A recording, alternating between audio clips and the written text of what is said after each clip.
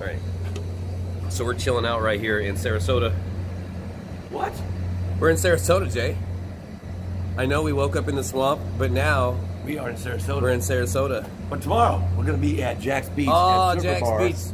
You know, the first time I ever surfed in my life was in Jacksonville. He did. It was also the only time I've ever surfed in my life. This is the truth. It was also the last time. He nailed it. Yeah.